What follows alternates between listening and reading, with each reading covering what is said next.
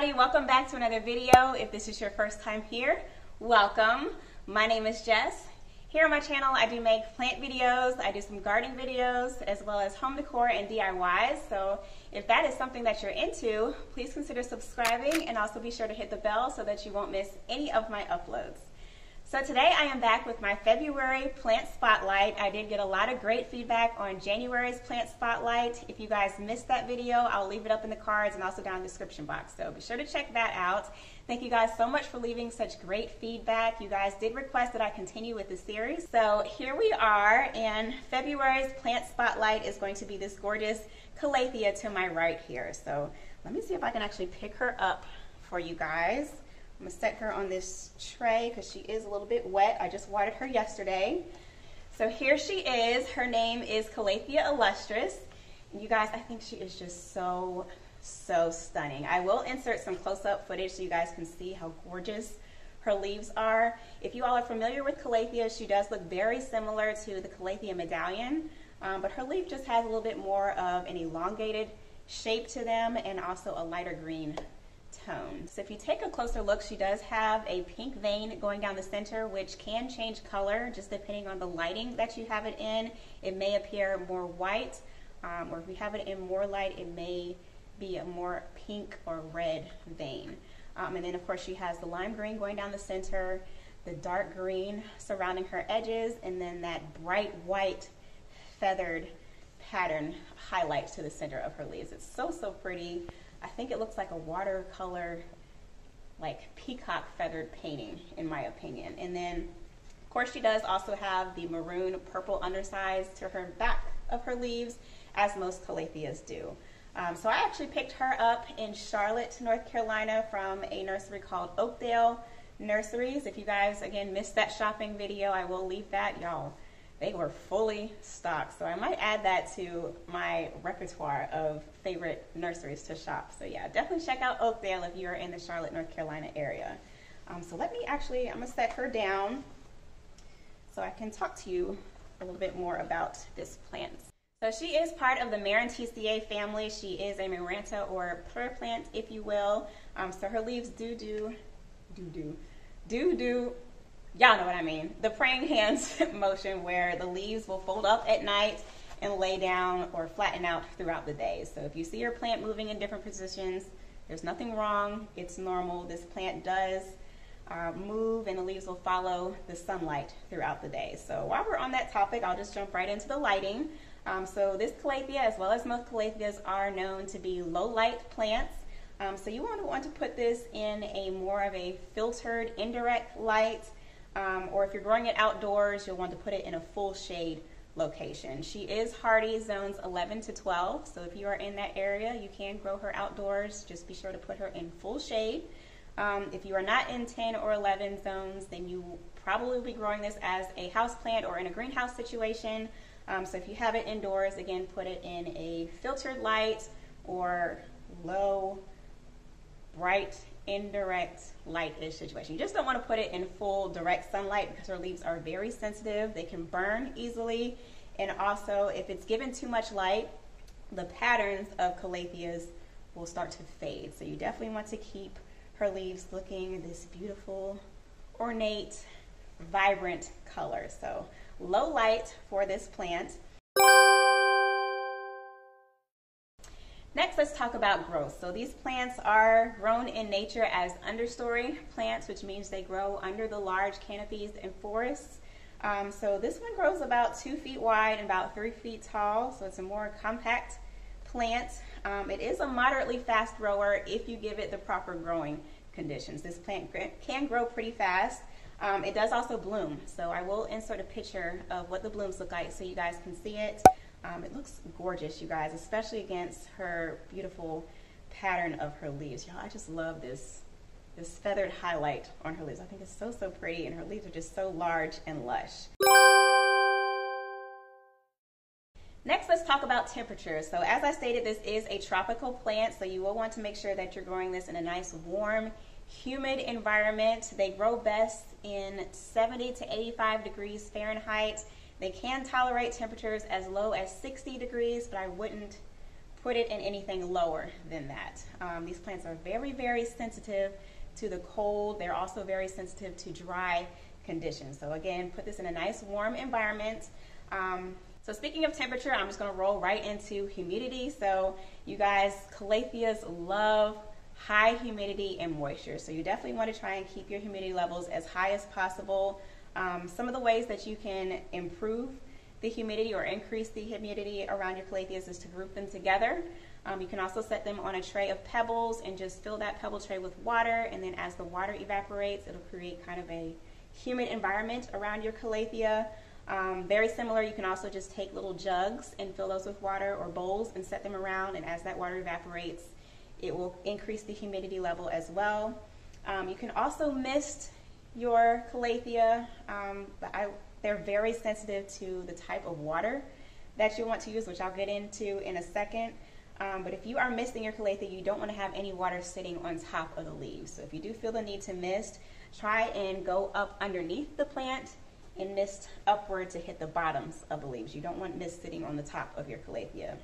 I personally have mine sitting in a room with a humidifier. I actually have four humidifiers running in my house um, just because I have really high ceilings. I have a lot of square footage and I also have very dry gas heat running. So I do have four humidifiers. They are all set at 60% humidity throughout the wintertime to keep my calatheas looking as pristine as possible. So yeah, high humidity and warm um, conditions for your Calathea illustris. Next, I'm going to talk about the watering. So calatheas are very, very sensitive to the type of water that you use. They're also very thirsty plants. So you will want to make sure that you're watering your plant regularly, um, but just be careful on the type of water that you're using. You definitely want to make sure that you steer clear from using tap water on your calatheas. Just depending where you live, most tap water does include a lot of fluoride and chlorine and other chemicals that will burn the leaves of your calathea. Um, so you want to make sure that using either filtered water, bottled water, um, distilled water, or rainwater. Rainwater is probably the best option. Um, I personally use my Brita filter to water my calatheas. I will also occasionally go out and buy some distilled water bottles to water them, but I definitely do not use any tap water, not even to mist my calatheas. So careful on the watering. Um, they again like to stay moist, but they don't want to be soggy or boggy where it can cause root rot for your plant. So I guess that will roll right into soil. We just rolling right along, y'all. So again, these do like moisture, so you will want to use a mixture that is water retaining, but also light and airy. Um, they don't like their roots to sit in anything too heavy that can bog down the soil and cause a root rot situation. Calatheas have a very frail uh, root system. They don't have those big, robust roots. They're actually really small, frail, hairy roots. So you'll want to make sure that your, your soil medium retains a lot of moisture, but is also very well drained. So use something that is peat based, um, maybe throw in a little bit of sphagnum moss to retain moisture, but also toss in a little bit of perlite, maybe some orchid bark to aerate that soil and just help it drain a little bit better. So next is fertilizer. Um, again, calatheas are very, very sensitive to fertilizer. You guys, these leaves burn so easily, um, but you will want to make sure that you are fertilizing your plants spring through fall. That is their growing season. You can use any all-purpose, well-balanced fertilizer, any 10-10-10, 20-20-20, liquid fertilizer. Um, just be sure to dilute that extremely. So whatever the label says, cut that in half. Um, you can even dilute it by 75% if you want to because they're very, very sensitive and they can burn. So Definitely fertilize spring through fall. Toxicity. So this plant is actually non-toxic, you guys. Finally, a house plant that is not toxic to humans or fur babies. So you can set this plant on the floor. You can hang it in a hanging basket. You can set it on a shelf, put it wherever. And if your pets get a hold of it, you don't have to worry about them getting too sick. Now, you definitely don't want to set it out and just let them go to town chomping on the plant. Um, but yeah, it's not toxic to our little fur babies. I'm excited about that. As far as pruning goes, Calathea illustris does not require a lot of pruning. Um, you definitely will want to make sure that you go in and just cut off any brown or dried up leaves. Also, when you're making your cuts, um, let's see if I can rotate her I might have to zoom in or do a close-up shot for you guys so you can see what I'm talking about.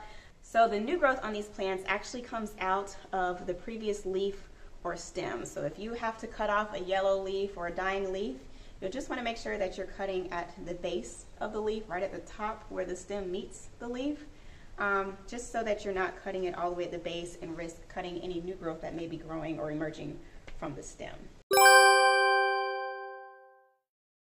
Okay, so as far as repotting goes, um, calatheas again have a very frail root system, so you don't really have to repot this one too often, maybe every one to two years.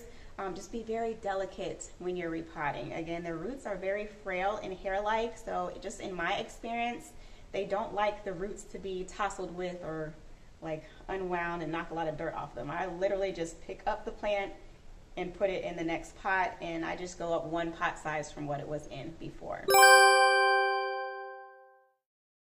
Okay, let's talk about pests, y'all. I hate this topic, but we have to address it.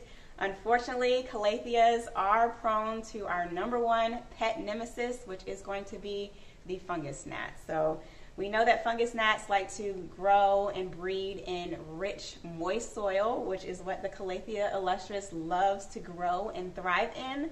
Um, so yeah, you may see your occasional fungus gnat breakout. They are also very prone to getting spider mites and thrips, you guys. Um, I personally have not had an issue with seeing mealybugs or scale or aphids on uh, Calathea, um, but I did read that they can be prone to getting those pests as well. Um, I will leave a link up in the cards as well as in the description box for you guys to check out my debugging video on how to care for spider mites. Um, that does go for spider mites, thrips, aphids, mealybugs. It covers how to treat for all of those if you need help with that. So yeah, they are prone to pests. Um, but if you do have a pest outbreak, just be sure to isolate that plant away from all of your other plants so they don't spread. And then just make sure you are going through and cleaning every single leaf and stem thoroughly. y'all, it is hot. Okay, so I got this big old sweater on. I've got these humidifiers going, all this humidity in the air. I did just cut four inches off of my hair, y'all, and I just feel like it is swelling by the second with all this humidity. But Anywho, I think I covered everything. What did I missing? Oh, propagation. So propagation for this plant is done best by division. Uh, calatheas actually have rhizomes that spread horizontally underneath the soil. So the best way to propagate this is just take a division cutting or you can go in and break up those rhizomes and just plant little plantlets to propagate your plant. So last thing that I just wanted to touch on a little bit is problems or issues you may notice with your calathea. One being curled or wilted leaves, which is normally an indicator of a dryness issue. Um, typically, if you see curling leaves, that can be one of two things. Um, the first one being that if you see your leaves curling up, it may be getting too much light. So calatheas can tend to curl up their leaves just to protect themselves from that harsh sunlight to kind of shield and protect their gorgeous patterns of their leaves. So you may be getting too much light and just move it into a more lower light situation if you notice curling. Um, also, curling can be an indicator of dryness. It may not have enough humidity and it may also need to be watered. Um, typically, your leaves will curl up first and then they will wilt. So once you see the wilting, we know you need to water your plant. And again, just be sure to water it with filtered, bottled rainwater, or distilled water. Another thing you may notice with your calathea is yellowing leaves or black base of the leaves. That means that you are overwatering your plant. Your soil is retaining too much moisture, so you'll definitely want to go in and aerate that soil to get some airflow to the roots so that your plant is not root rotting and causing those yellow leaves. Um, also with that, you may also notice some spotting or leaf spots on your leaves. That also can be two different indicators. Um, one being it may be a fungal issue, which is a little bit more difficult to diagnose. Um, the other is usually a watering issue. If you leave water, specifically tap water, sitting on your leaves, or if you're misting your leaves too often and leave that water accumulating on the leaves, it will actually burn the leaf and cause a leaf spot. So just be careful not to leave water or moisture sitting on the leaves for too long. So that is pretty much it, you guys. I think I covered everything. If I left anything out, please leave a comment or any questions that you have down below. I'll be more than happy to address those. I hope you guys learned a little bit more about the Calathea illustris. If you see one in your stores, definitely pick one up, you guys. They are such ornate, stunning plants. All calatheas, I think, are just gorgeous, you guys. They can be a little bit tricky, but once you get the hang of it, it's actually really easy to care for these plants. Give them some low but decent light, high humidity, consistent watering, and be sure to use filtered, distilled, or rain water when you're watering these plants. Um, but yeah, I hope you guys enjoyed watching this video. I hope it was helpful, informational. If you liked it, be sure to give it a thumbs up. Subscribe to my channel for more. And as always, thank you guys so much for watching. I'll catch you in my next video. Peace.